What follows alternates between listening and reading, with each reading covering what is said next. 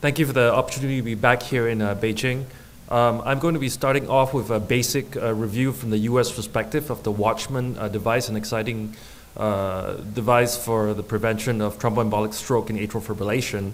Um, before I start, I'd like to remind everybody that at 12.30 today, uh, at room 302 uh, here on the level 3, there will be an advanced hour-long symposium covering the Watchman device by Dr. Saibal Kar from Cedars-Sinai and the Honorary President Yaling Han.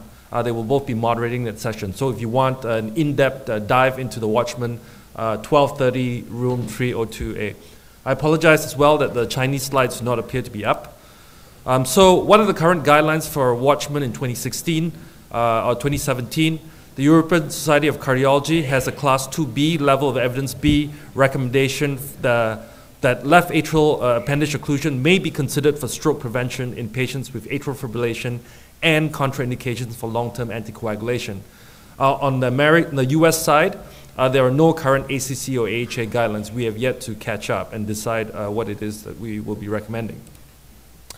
Um, the potential global appropriate rationales, though, are very obvious. The first is uh, recurrent bleeding with long-term oral anticoagulation with the ability to take short-term oral anticoagulation. The second is a high risk of bleeding uh, uh, from frequent falls and frailty for patients who have not bled. The third is non-adherence or refusal to take oral anticoagulation long-term. And the fourth is recurrent thromboembolic stroke on therapeutic oral anticoagulation with other etiologies ruled out. Um, the FDA uh, approved the Watchman device uh, in 2015 in the United States, uh, but the problem with the approval was that they followed the original trial uh, recommendations and stated that patients had to be eligible for warfarin, which does not really make sense.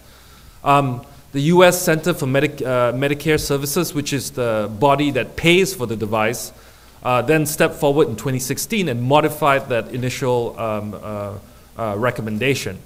They stated that the patients had to have a high CHA2DS2 VASc score, there had to be documentation by independent non-interventional physicians or shared agreement.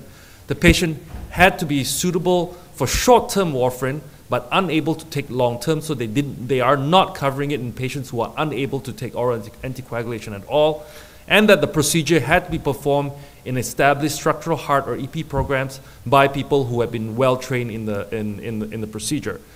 And the patients who were enrolled had to be in a national registry to track their outcomes for at least four years.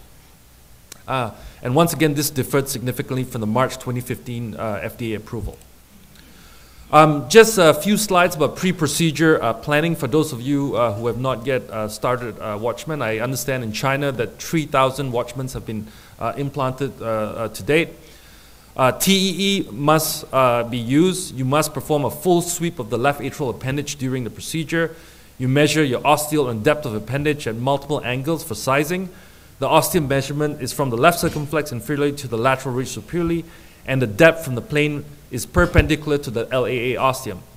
Um, if uh, the left atrial size uh, uh, pressure is low, consider giving a fluid bolus to ensure that the left atrial appendage uh, expands to its maximum size, uh, uh, given that most patients tend to be fasting. Um, if you would like for pre-procedure planning, cardiac CT is actually more accurate and results in less device use per implant. You have 1.25 versus 1.8 devices in the paper by Jacqueline Saw. Uh, morpho morphological limitations of left atrial appendage. Uh, a watchman cannot be placed if the depth is shallow, less than 17 millimeters, if your ostial diameter is larger than 30 millimeters, if you have a chicken wing left atrial appendage morphology with a proximal sharp bend, or if you have multiple uh, proximal pockets. Your sizes are your 21, 24, 27, 30, and 33, and the device should be oversized by about 20% uh, uh, of the appendage. These are the different left atrial appendage morphologies. You have the cauliflower, you have the windsock, the broccoli, and the chicken wing. And the chicken wing is the one, because of its shallow angle in this uh, plane, that uh, you may have difficulty uh, uh, implanting the device. From procedural uh, detail standpoint, we have femoral venous access with figure of eight sutures for bleeding control, or, or pre-closure, and you place a 14 French sheath. Uh, you must be uh, well versed in transeptal puncture, and it's an inferior posterior position of the puncture so that you can aim upwards towards the left atrial appendage.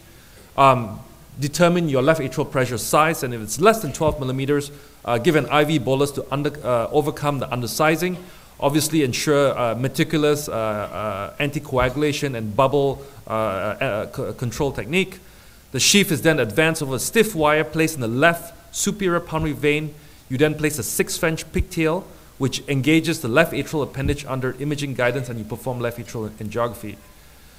Both the sheath and the pigtail are then pushed uh, together over, uh, uh, um, uh, which is crucial that you have the pigtail out there because it minimizes perforation of the left atrial appendage. The device should be oversized. The device is then slowly unsheathed.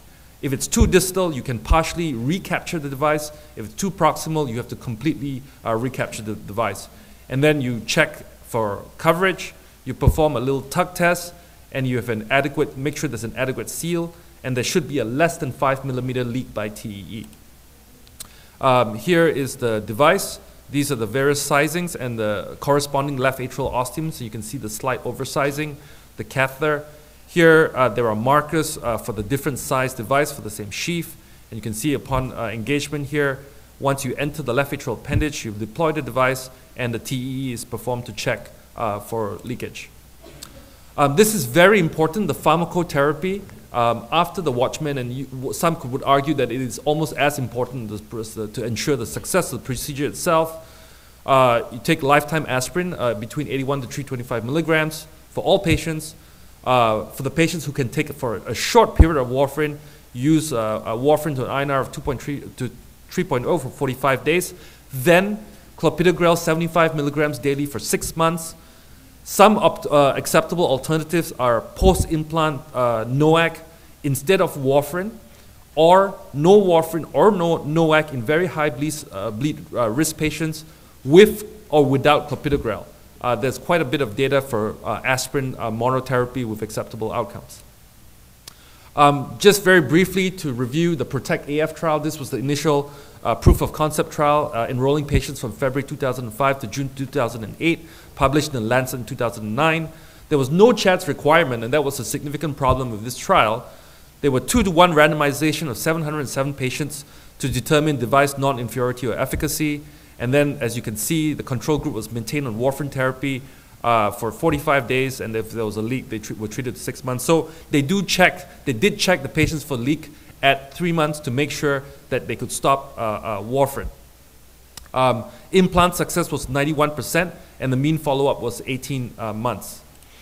Um, the major problem of this trial it was that there was serious pericardial effusion and major bleeding in a large proportion of patients.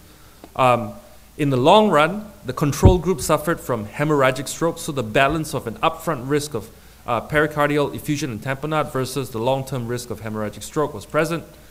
Um, the device uh, showed um, uh, composite efficacy was slightly lower than uh, warfarin therapy, uh, but safety overall uh, was worse with Watchman because specifically of the um, pericardial effusions. Um, so the question then arose, could we overcome the safety issues by ensuring with more experienced operators? And this led to the Protect AF Continued Access Protocol Registry or the CAP registry, and you can see here that in the beginning, for uh, if you uh, simply looked at uh, pay, uh, uh, the very early experience, um, we were able to overcome that later with more experienced operators. We did not have as much uh, bleeding. Most of the events accrued up front. And here is the data reported from um, the CAP and PROTECT registry combined. Um, overall, you can see that the procedure time fell and um, the serious pericardial effusion rate fell as well. Um, the PREVAIL trial was then designed uh, because uh, the, uh, the FDA did not approve the device based on PROTECT data, and this used a higher risk group of patients to neutralize the learning curve and of the early experience of PROTECT AF. This was randomized two to one and was multi-center, and they looked at patients with CHA2 uh, uh, scores of greater than two.